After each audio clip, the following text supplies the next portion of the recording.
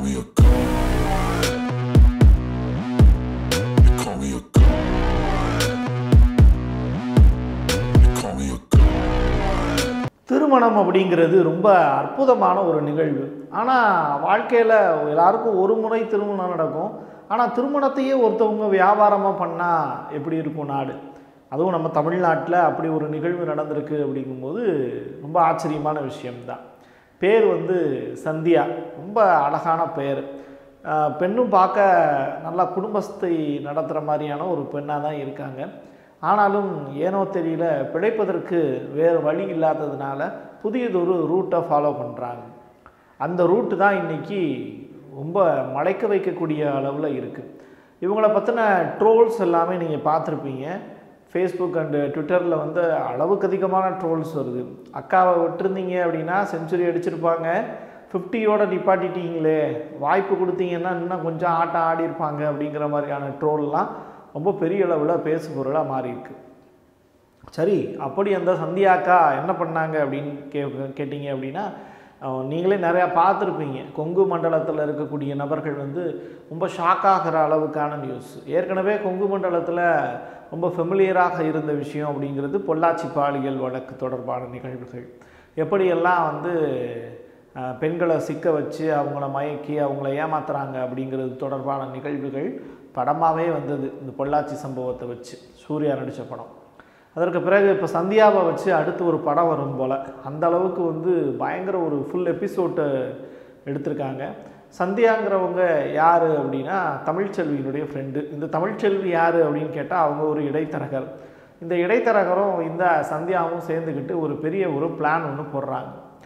நிறையா கல்யாணம் ஆகாத 90s கிட்ஸ் இருக்காங்க.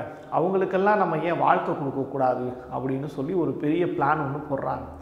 நல்ல திட்டம் தானே செயல்படுத்தி பார்க்கலாமே அப்படின்னு சொல்லிட்டு சந்தியாவும் முயற்சி பண்ணுறாங்க தமிழ்ச்செல்வி பார்க்குறதுக்கு சுமாராக இருப்பாங்க அப்படின்னு அவங்களுக்குள்ளே ஒரு நினப்பு. சந்தியா பார்க்க சூப்பராக இருப்பாங்கன்னு இவங்களுக்குள்ளே ஒரு நினப்பு. சரி இந்த சூப்பராக இருக்கக்கூடிய ஒரு பொண்ணுக்கு வந்து ஒரு முப்பது வயதுக்கு மேலே சொல்லிவிடுவோம்.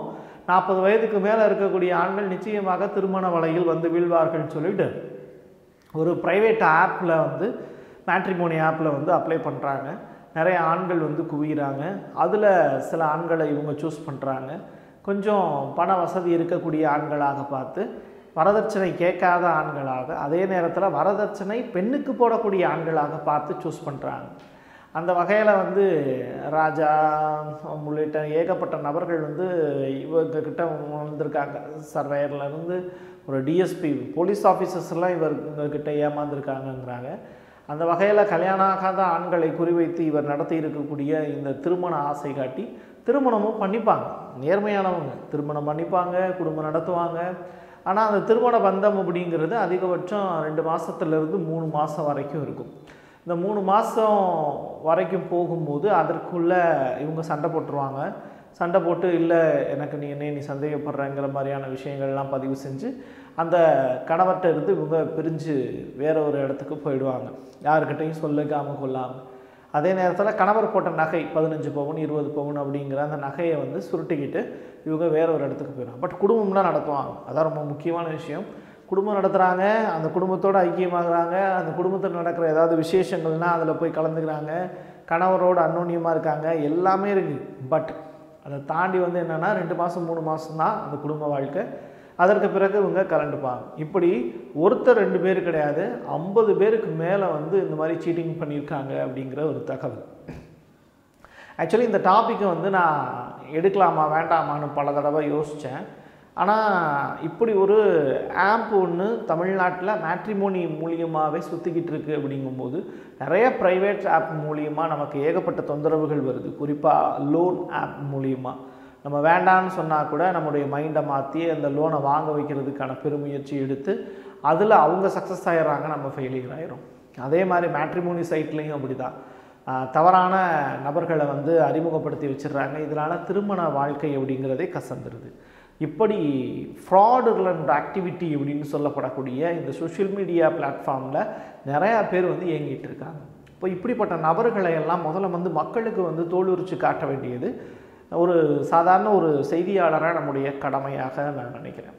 அந்த வகையில் இந்த கல்யாண ராணி வந்து ஐம்பதுக்கும் மேற்பட்டோரை திருமணம் செஞ்சு ஏமாத்திருக்காங்க அப்படிங்கிற தகவல் இதெல்லாம் தாண்டி ஒரு ரொம்ப முக்கியமான விஷயம் என்ன தெரியுமா? இப்போ இந்த கல்யாண ராணி எப்படி மாட்டியிருக்காங்க அப்படின்னா அந்த தாராபுரம் பக்கத்தில் இருக்கக்கூடிய ஒரு நபரோட இப்போ குடும்பம் நடத்திட்டு இருந்திருக்காங்க அந்த நபர் வந்து மூ இரண்டு மூன்று மாதங்கள் இவரை வாட்ச் பண்ணிக்கிட்டே இருக்காங்க. அவங்க பார்த்தா வேற ஒரு ஆணோட பேசிக்கிட்டு இருக்காங்க. அப்போது யார் என்ன ஏதுன்னு சொல்லி பார்க்கும்போது அவங்களுடைய ஏஜும் வந்து ரொம்ப டிஃபராக இருக்கும்போது நடத்தையும் சரியில்லையே என்ன விஷயம் ஏது விஷயம்னு சொல்லி பார்க்கும்போது இவங்களுடைய கணவர்னு சொல்லிட்டு இன்னொருத்தவருடைய ஃபோட்டோ வந்து இவங்களோட பக்கத்தில் இருக்குது அப்போது கூப்பிட்டு விசாரிக்கும் போது முன்னுக்கு பின் சொன்ன உடனே சண்டை போட்டு பிரிஞ்சு போகிற மாதிரியான ஒரு வேலையை செஞ்சுருக்காங்க. உடனே இவர் சமாதானமாகிற மாதிரி ஆகி நேராக தாராபுரம் போலீஸ் ஸ்டேஷனில் கொண்டு போய் நிப்பாட்டி வச்சிடுறாரு.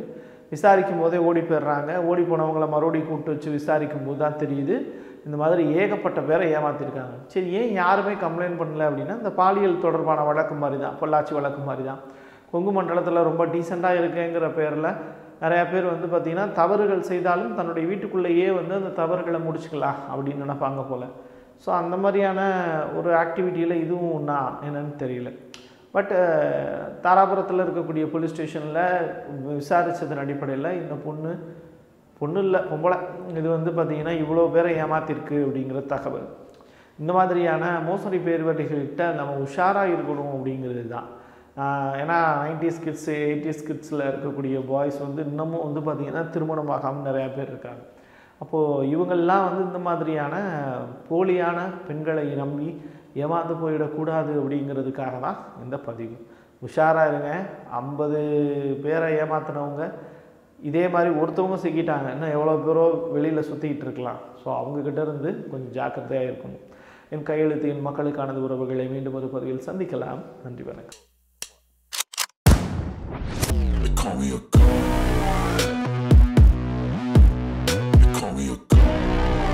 நிறைய நல்ல தரமான வீடியோக்களை பார்க்கறதுக்கும் அதே மாதிரி செய்தியினுடைய ஆழம் சென்று தெரிஞ்சுக்கிறதுக்கும் வரலாற்றை பேசுறதுக்கும் கேட்கறதுக்கும் எல்லாத்துக்குமா இருக்கக்கூடிய பிரசாத் சிக்னேச்சர் சேனலை உடனடியாக லைக் பண்ணுங்க ஷேர் பண்ணுங்க கமெண்ட் பண்ணுங்க. மறக்காம சப்ஸ்கிரைப் பண்ணி பெல் ஐக்கானை கிளிக் பண்ணிருங்க.